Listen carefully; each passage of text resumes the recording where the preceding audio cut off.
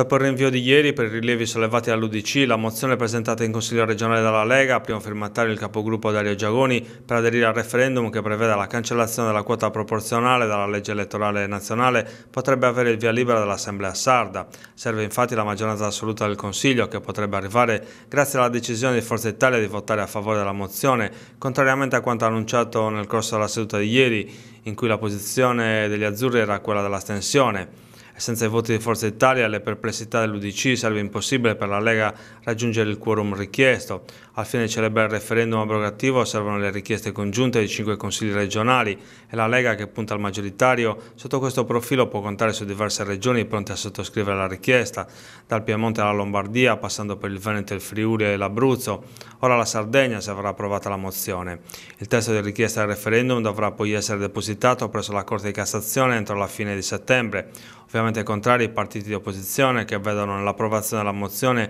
un grimaldello istituzionale al fine di passare da un sistema misto ad uno maggioritario puro, in cui la Lega, che in base ai risultati delle elezioni europee è il primo partito col 34 dei consensi, punta,